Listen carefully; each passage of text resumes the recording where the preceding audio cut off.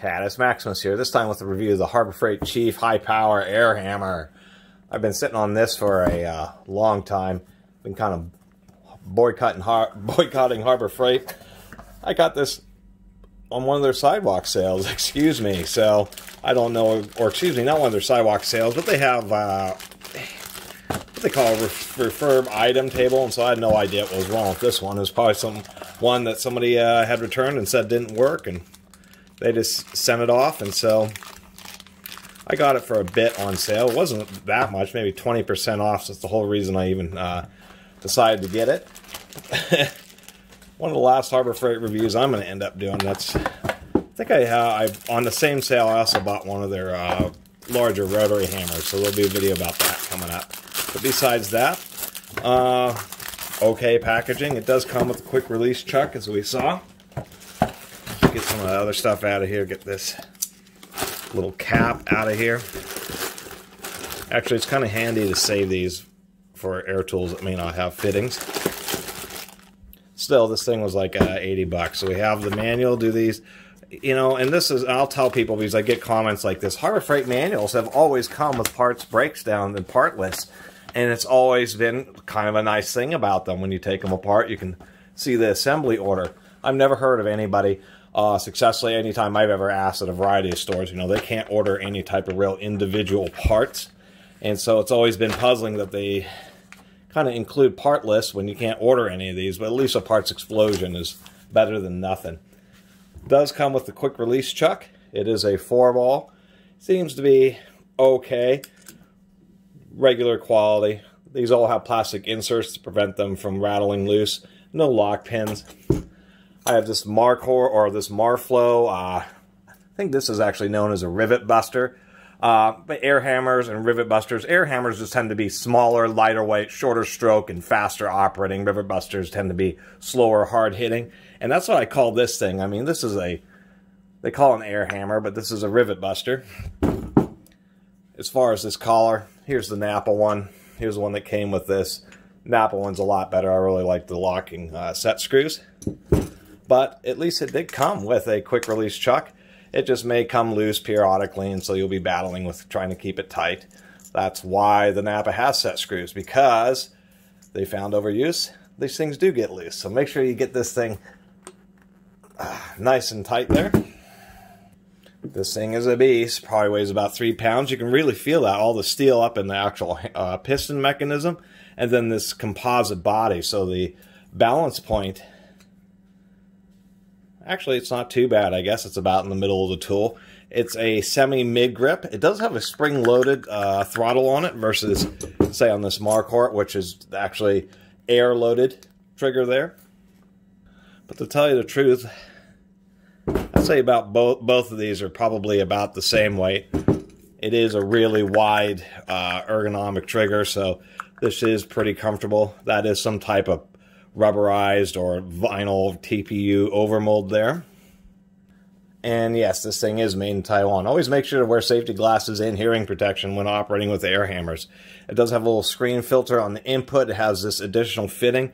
Although you may be able to pull out this fitting and actually stick in a uh, half inch MPT. So let me get a fitting on there. Give it a quick run.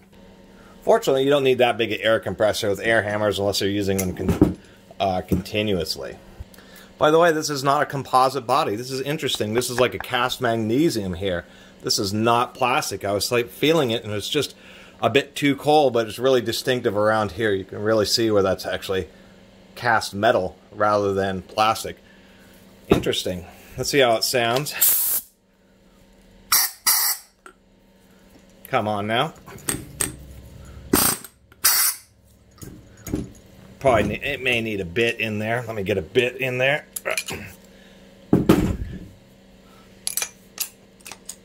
It's also brand new. I did put some lube in here.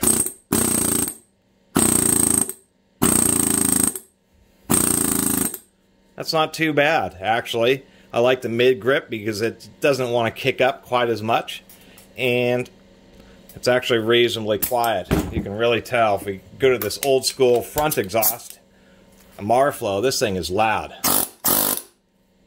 It's also, I can tell, isn't doesn't have quite as large a piston as this Chief does. I'm actually surprised. Let's go do a couple little empirical tests here. I got a little piece of what is this, 3 quarter inch by 5 sixteenths. Actually, that may be 3 eighths. 6061 aluminum. I'm just going to do some imperial tests, empirical tests between these two just to see the power. I don't have any bushings to bust out or bearings to uh, knock out, so we're just going to see what it does with some various tooling here. See what kind of uh, damage. Jeez. Don't want to put your... That's not a very good tool to use. Let's try this. We'll try the spike here.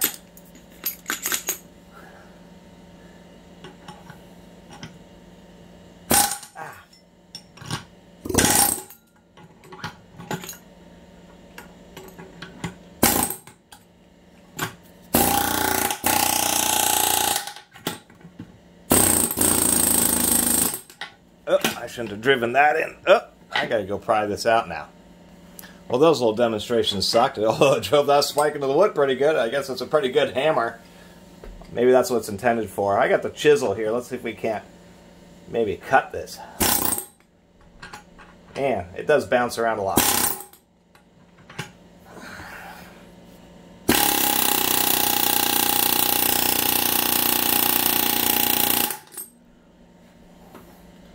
Well, I was stood on that for a fair amount of time. It's doing okay. The wood is absorbing some of the energy, so if you were trying to knock a bushing out with the steel collar, trying to split a nut, trying to remove a bearing race from the inside of a hub, since that's hard steel inside another hard steel object, you'll actually be delivering more force than I am. Uh, a piece of aluminum on top of a piece of wood there. I'm going to try one more time with this little spike tool but standing on that piece of aluminum smartly instead of holding it with my hand just to see how much I can drive this.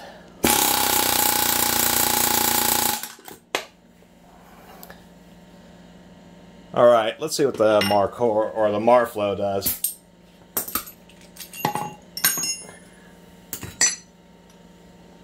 At least that uh, Chief is pretty smooth.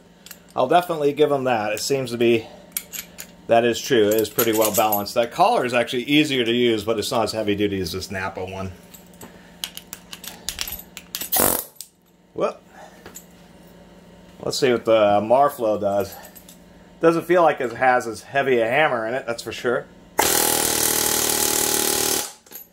Although you get a lot more uh, speed out of the Marflow. And to tell you the truth, energy is velocity times mass and I had that on there maybe the same amount of time or maybe a little less than the uh, Chief, and it made it almost as deep. And this thing's a lot smaller and a lot older. Doing? Let's see what it does with the chisel. Ah. Oh, come on. Here we go. We'll do that chisel once again here.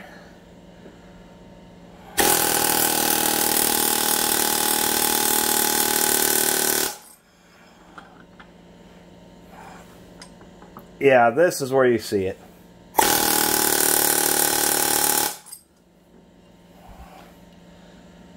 That mark is just not as deep as on the Chief. So that really shows where it has uh, quite a bit more energy, but the Chief does versus this one. Let me swap again.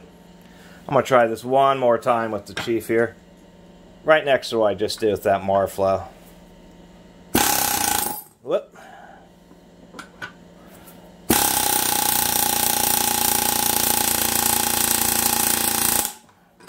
It definitely is smoother. I do have to give him that. There was the first couple of shots, and there it is again. That's kind of hard to say because that's the Chief I just did. That's the Marflow. I didn't spend quite as long with the Chief, I don't think. It's pretty close. So there you have it. I didn't have... Uh, I'm sorry for yelling if I was. I had earplugs in, so couldn't quite hear myself. It's hard to judge something like this because the effectiveness of one of these tools isn't just about how heavy the piston is It's about how fast it's actually moving and traveling and how many times it goes back and forth reciprocates per minute. That's the work done. Then that's how you get a calculation of total energy delivered over a given period of time will determine the amount of work that an air hammer can do. To tell you the truth, I was actually kind of hoping that this would have just cleanly beat this, where I would have done these little tests here and where one of the cuts was just been way deeper, you know, would have been 50% deeper. I was actually kind of hoping this thing would just cut right through this piece of aluminum, even on a block of wood like that. That wasn't the case. And even though the Marflow, I can feel it, it doesn't quite have as heavy a hammer.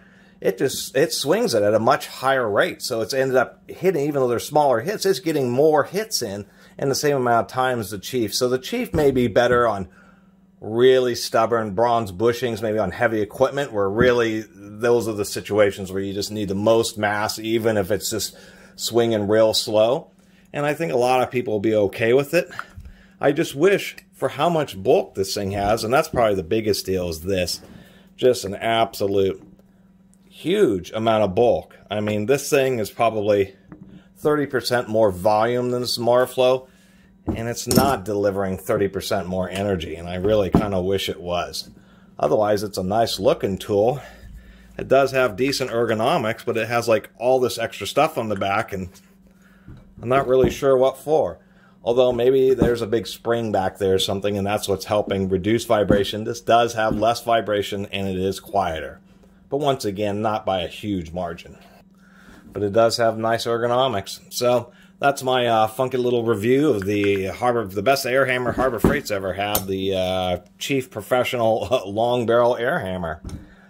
I don't know if it's really worth the money. It's more you kind of have to decide. Really, if you can get a decent coupon, then it's probably worth it. Otherwise, uh, for whatever the the retail price is, around a hundred bucks for this, I would probably look at a you know more of a established commercial brand.